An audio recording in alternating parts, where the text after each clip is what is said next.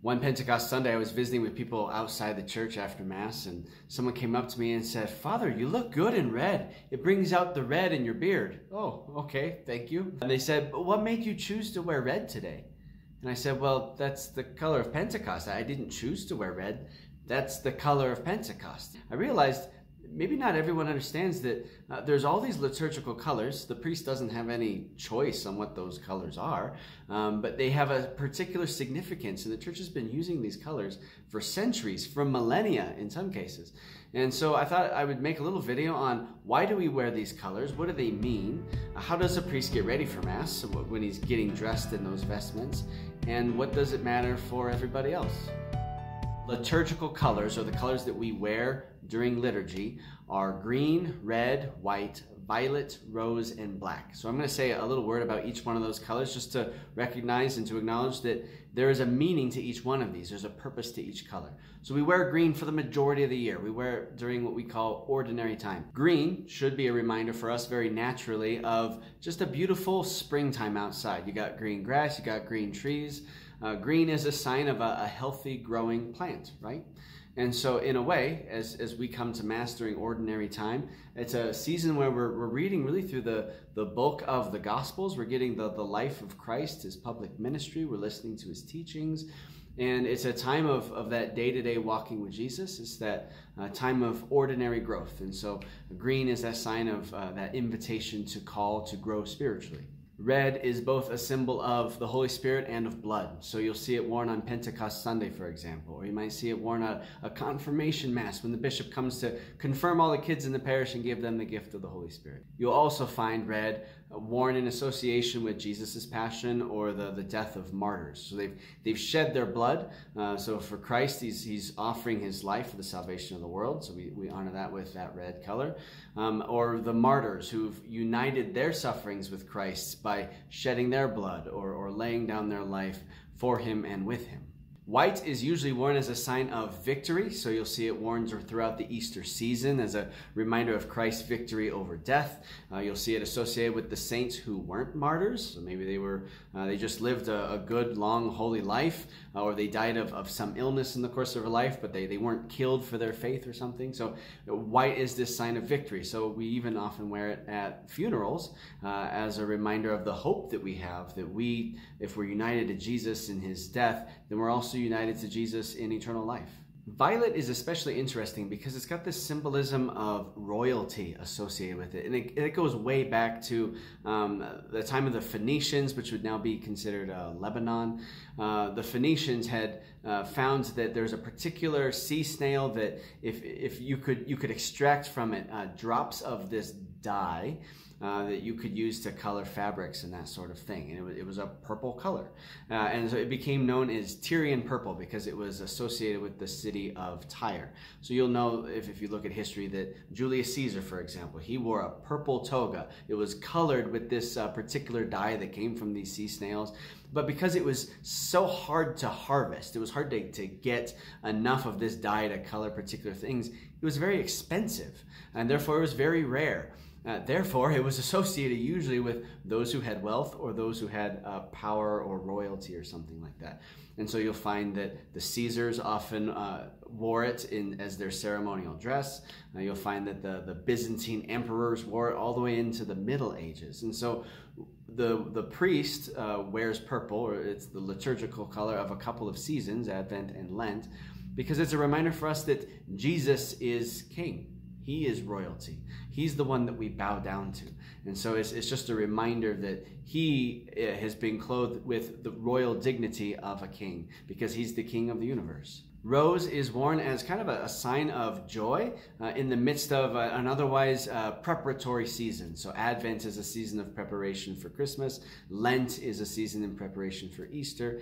And both of those seasons, we're typically wearing purple, but on, there's two days, one in each of those seasons, where we wear pink as just a sign of hope, as a sign sign of joy. In the midst of that preparation, uh, we're, we're already looking towards uh, the fullness of joy that's to come on Christmas or Easter. Black might not actually be worn that often by priests that you've seen. Uh, it's, it's just not that common because it's, it's usually a very optional color. It's never required of the priest to be uh, wearing a black vestment, uh, but it's usually associated with death, so it might be worn at a funeral, for example, it might be worn on All Souls Day.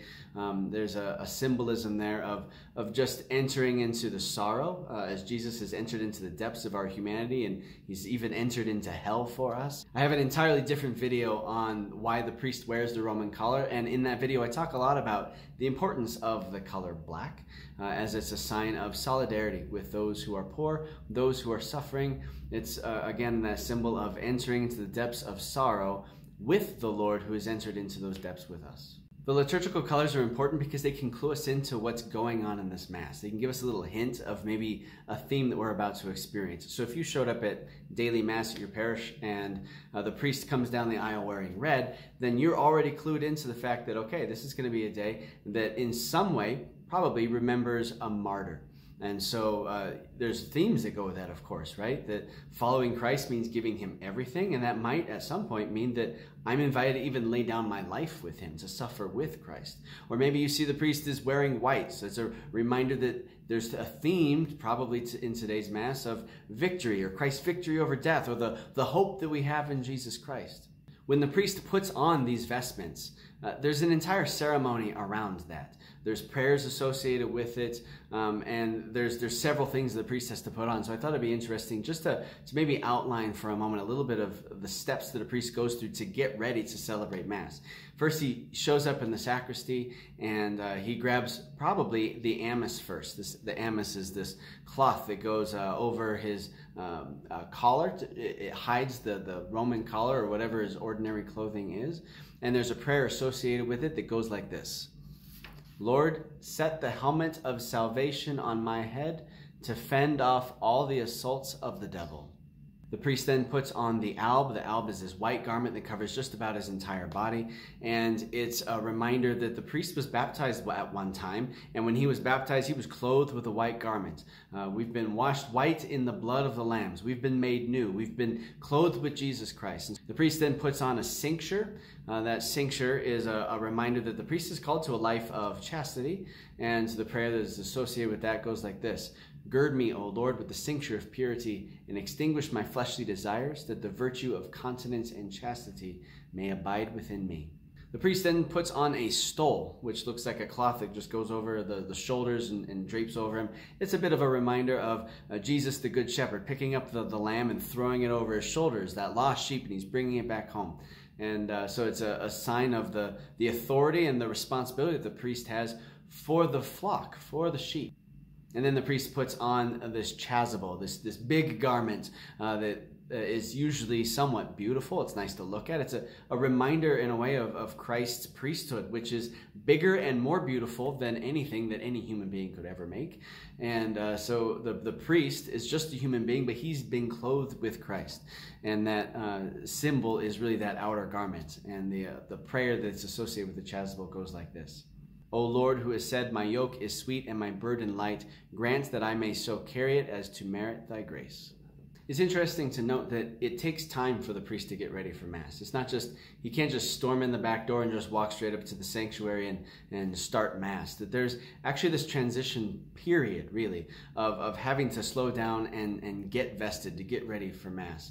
Um, there's a sense of kind of closing out, leaving behind the busy life that, that we were just immersed in and stepping into a new time. We're stepping into a new space.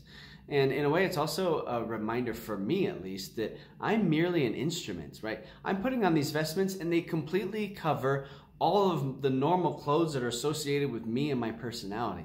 When I'm putting on those vestments at Mass, it doesn't matter who Scott Bailey is. Uh, what matters is that Christ is present in this liturgy. My job when I show up at the Mass is not to give you myself. My job is to give you Jesus and Jesus' words and Jesus' will and Jesus' sacrifice on the altar.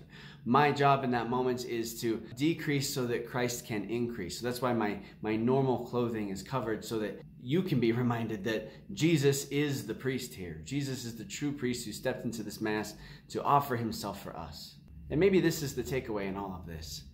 We are supposed to be clothed with Christ, not with ourselves. And that's a real tension in this world, right? I'm always tempted to put myself first, to decide what I want, or to put my, my wishes and my preferences first. That's always going to be a tension. But God has a better plan. God has made me for a reason. God has me here today for a reason. God's got a will for my life, and He's got a will for my day. What matters is what He wants for my life. I don't get to decide what's right and what's wrong. I don't get to decide what holiness looks like, but He does. He shows me what holiness looks like. He shows me what right is, what wrong is, what good is, what bad is. He sets the standard that I am called to to live out. The priest doesn't choose what color he wears for mass because the priest is not the lord of his own life.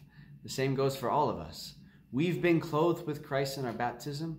We are called to decrease and he's supposed to increase in our life because he is Lord of the universe and not us. God bless you.